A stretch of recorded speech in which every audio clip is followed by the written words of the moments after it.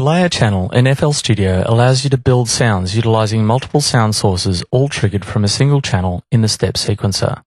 The sound sources can be made up of any sample channel, any Fruity plugin generator, any VSTI or DXI generator, and even any Rewire MIDI channels that you might have running. Although all the different sounds are controlled by a single layer channel, you still have the benefit of the control that exists within each sound's individual channel settings. Insert a layer channel by going to the Channels menu, choose Add One and then select Layer. Channels are assigned to the layer channel by selecting all the channels you want to be layered by right-clicking the selection button for each one of them. Then in the layer channel settings, click on the Set Children button. Now when MIDI is played through the layer channel, all child layers will sound.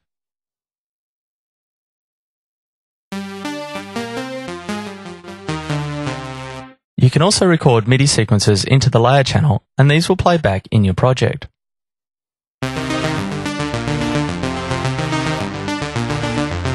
Note that selecting any of the individual channels will still allow you to play them separately to the layer channel, even though they are currently part of the layered set.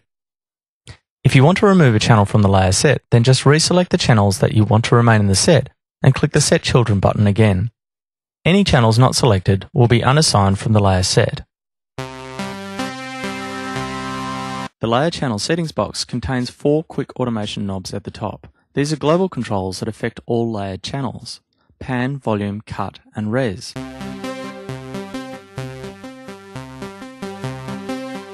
Note that these, along with the crossfade function which I'll be talking about shortly, only affect channels that contain any of FL Studio's inbuilt generators. If you use any third-party VSTI or DXI plugins, they will have no effect. Pan will adjust the stereo spectrum of the layered sound. Vol will alter the volume by up to 200%. This allows you to mix the individual sounds to taste and then adjust the volume globally with lots of headroom. Cut affects the cutoff frequency of the filter, and res the resonance. The great thing about these global controls is that they make automation of the individual components much easier, as you only have to automate one parameter as opposed to automating as many as you have layer channels. The Show Children button in the layering section below will select all channels that are attached to the layer channel. Beneath that is the random button, which will cause different sounds to play randomly every time you play a new note. This is useful if, for example, you have a set of drum sounds in your layer and you want to achieve some more organic sounding variants in the choice of sample played. Beneath that is the crossfade switch. This will allow you to use the fade wheel over on the right to crossfade between each of the child sounds. As you move the wheel from left to right, you will fade into each sound according to the order that it is placed in the step sequencer. The first will fade into the second, then the second will fade into the third, and so on.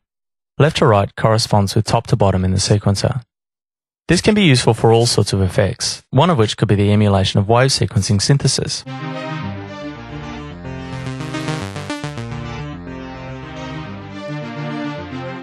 You could also use it to fade between different drum sounds, for example hi-hats moving from closed hi-hat sounds to progressively more open sounds. You'll probably get the best results of this if you link the fade control to a knob or a slider on your MIDI controller, for example the modulation wheel. Other options for the layer can be accessed by clicking on the Layer Options button. The Split Children command will assign each child channel to a single key across the keyboard starting from the layer channel's root note. It will also adjust the root key of the children so that they will be pitched properly. This works well when you want to quickly create a drum map across a range of keys, or to create instruments where each note uses a different sample. Having said that, you can use the layer channel to control sounds each having their own key range, like a multi-sampled instrument. To do that, define the key region in each sound's channel settings.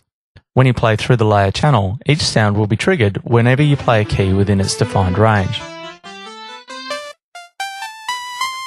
Under the split children command is the group children command. Selecting this will place all child channels into their own group that can be accessed from the channel display filter at the bottom of the step sequencer window. The delete children command will remove all child channels from your FL Studio project. The channels will be selected and a dialog box will inform you of their impending deletion.